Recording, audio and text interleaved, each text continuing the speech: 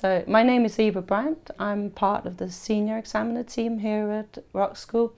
I've been an examiner for about 10 years. Choose pieces that you like that somehow resonates um, with you and your playing. Um, try and enjoy yourself.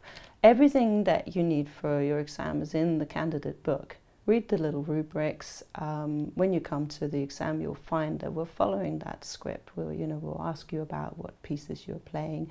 We'll let you have a sound check, and then we're doing either pieces or technical exercises, but you can be really well prepared if you read all the little rubrics and of course that you have practiced the pieces.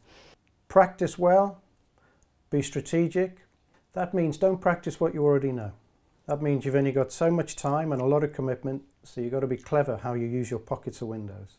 Try and always get up off your drum stool and put your guitar down only when you've organised yourself with a concept or an idea more than you had it before preparing thoroughly for the exam 23 minutes or the 80 minutes they have or the 35 minutes, preparing for that time span, covering everything in that time in a rehearsal.